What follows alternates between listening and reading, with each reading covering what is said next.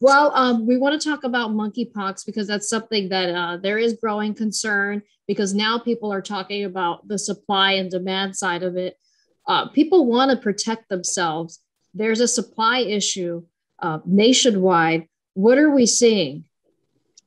Yeah, so it's a good question, and I do appreciate the opportunity to talk to you about it. Um, one of my one of my passions is good science communication and health literacy for the country, especially in the last few years. So I, I really appreciate it. So in, in, reality, just for some context, maybe for your story, and you can use it or not, I want to remind everyone that uh, monkeypox is not COVID. Uh, it's not spread through aerosolization or the air. It has a very low reproductive number. It's actually quite tame, um, and a reproductive number below one, which means if I have monkeypox, it's very difficult for me to spread it to more than one person. Um, and it takes prolonged contact, it's, it's uh, skin to skin, all the things you've probably been reading about. So just to remind people, it's not, it's not super transmissible. And also to remind everyone that, you know, we're over a thousand cases now in the US, about 40 states. Keep that in perspective of 330 million in the population. It's actually quite low, no deaths in the US. Uh, and so, you know, the vaccine issue is kind of one that it's interesting to watch. You know, you certainly want to be prepared. We have we have two types of vaccines uh, that are approved. One's a little better than the other. Uh, Jynneos is really the more effective two-dose vaccine that doesn't cause many side effects, and, and it's relatively newer. Um, and we had plenty of that as we started this back in May. So remember, the first case was in May, and we've distributed about, I think, the last I looked at, about 132,000 doses have been distributed by HHS. I think Texas has got, you know, several thousand of those. There have been about 20 cases in, in Texas, with a lot of them in, in the Houston area. So, you know, in my professional opinion, I think we're fine. Uh, but certainly, we've been distributing those vaccines to people at high risk, uh, immunocompromised individuals, because that's those who are at most at, at uh, concern in general, when you get monkeypox, it resolves in two to four weeks on its own. Most people are not going to have major issues. They're going to isolate, they're going to wait it out, and it's going to go away. That's kind of the, the truth behind the infection. But having said that, um, just to make sure uh, that we have plenty of vaccine on hand, the national stockpile, HHS has gone out uh, they have ordered, I believe, two and a half million additional doses that's supposed to be here a little later in the year. And then uh, more recently, you may have seen that the United States has went and obtained, or at least they're on their way, about 800,000 doses from Denmark. And those are coming in, um, and they take a little bit of time because those doses have to come in at, at cold storage on planes, and they can only get about 100 to 150,000 at a time uh, delivered, but those are coming. So uh, it so sounds like they're starting to roll out. Sorry to cut you off. Rolling That's out okay. more and more. Um, I think that what I'm seeing is there's kind of that concern with people seeking that protection now. And so when you have it only being rolled out to certain groups, uh, people that have uh, been exposed to somebody. And so if somebody hasn't been exposed and they want to get that protection, do you think it's time to roll it out to that population of people who maybe don't know that they were exposed but they just want to be protected? Right right. I think i think and i think most experts would say this with me and healthcare officials they're really going to look at that as a risk analysis a risk analysis because you can't just start handing out you know thousands of doses of monkeypox uh, because people just want it. Um, if you're not in a risk group, if you haven't traveled to Africa, if you haven't, you know, had known exposure with somebody that has had monkeypox, then probably you're not going to be on the highest priority right now. Now, if something happens and we have, you know, a greater community spread and we start seeing clustering and, and, and greater numbers pop up, that might change. You know, you might go in and say, okay, let's look at, um, let's look at Harris County, for example, in Texas. We see something happening there let's go in and let's drop in you know several thousand doses in x city and try to ring that uh, ring that vaccination effort around that area that's kind of the next level of effort usually from a public health standpoint but I don't see right now, uh, especially in Texas, I haven't really seen that being talked about. I know in New York, if you've seen some of the information in the last day or so, they seem to really be requesting lots of vaccine. I haven't dug into that too deep, but you know, in certain communities, uh, we know this is kind of in certain communities of sexual behavior, and that tends to be more uh, concerning, obviously, in those populations. So perhaps that's part of it. If you have higher populations of those practices, then you might look at that uh, as a way to to control the disease. But I haven't seen that really in Texas right now. Yeah, and that's what I saw out of New York, and I believe um, I want to make sure I'm accurate on this, but I believe I saw that cases there are doubling. Um, so they've had these large clinics, so much demand that they're having to shut down and wait until they have the supply, and they have it available for people there. So is it time to have that same availability in Texas? You know, without knowing the actual numbers at this at this time, I, I just don't know the demand in Texas. But everything I've seen up through about several days ago, I don't believe there's a need right now for that. Again, if that's if that's changed in, in the last 24 hours, that may not have come out through my sources. But if it starts doubling or you start seeing, you know, hundreds of cases versus dozens, uh, and maybe even thousands of cases, hundreds, it will kind of depend on what's happening. Is that spread out through our entire state? Or all of a sudden are you seeing you know 700 cases pop up in travis county in austin or something like that? That is when i think public health officials would look at that situation and perhaps start with a more localized effort to um, utilize vaccination a little more effectively if they needed to. Again it really comes down to um, you know there's a lot of things going on here. And so one of the things you can do with monkeypox a little more effectively is contact trace. It's a slower acting transmission. If you find 10 people uh, that have it and you can identify their contacts and you can get those people notified and, and maybe you do vaccinate those individuals and you get everybody isolated, you don't necessarily have to come in and just try to mass vaccinate a city. Uh, and, and remember, you have to keep in mind supply and demand. You don't want to burn up vaccine when you don't need to. So all of those considerations from a public health standpoint have to be taken into consideration.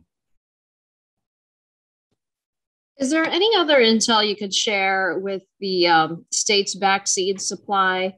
What we anticipate to get? I understand that I believe it's up to the counties to order the supply, but um, does the state expect to have a larger number of doses here coming up? Yeah, my my information, my sources, I don't really, I really don't have a lot of information that you probably don't have right now. I know that um, um, the leaders in the public health department and stuff, when I look in, in that area and talk to some of my individuals, they talk about that about 200 doses have gone out statewide, and about half of those have gone to the Houston area for whatever reason.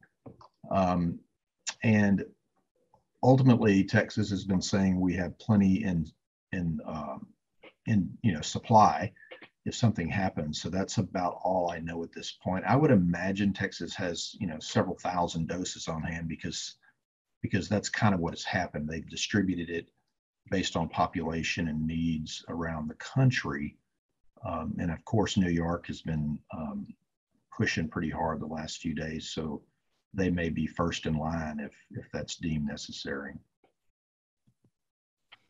Um, it seems that as we learn more about this, because it's new and it seems like you know we're barely getting through COVID, and now there's right. this whole other thing that people are beginning to worry a little bit about. Um, and so when you look at transmissibility, we're starting to learn more. And I remember with COVID, that kind of changed as we learned more.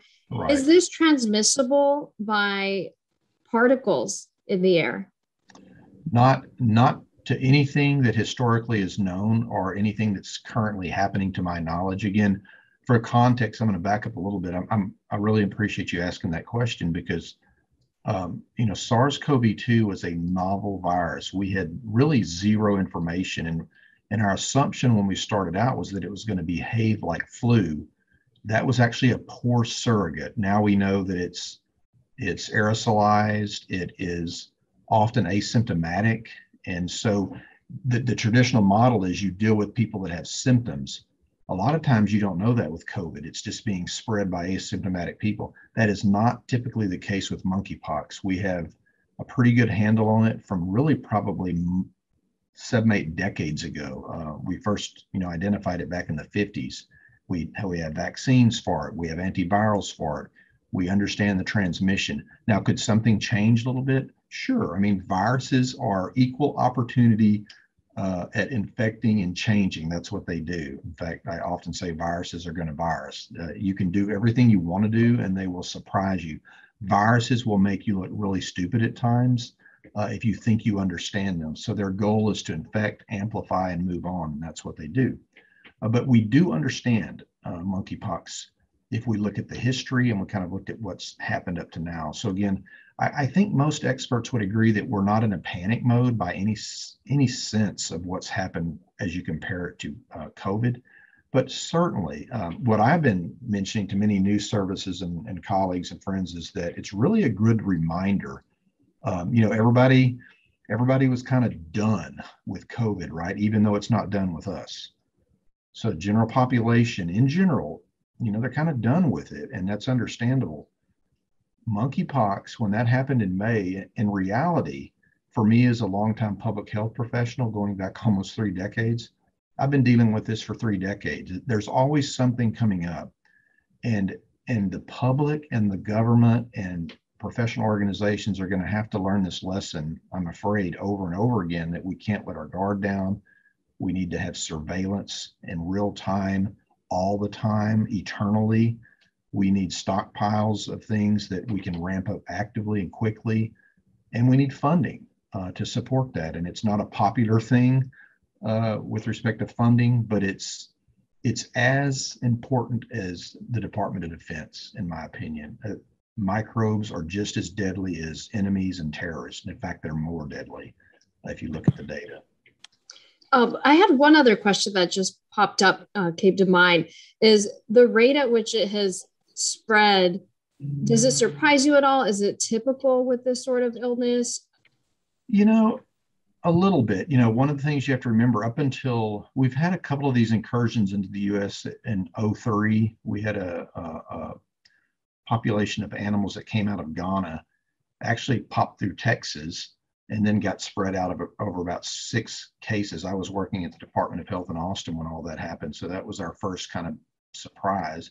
And then we had a couple of travel associated cases in 18 and 21 to Maryland and some other states.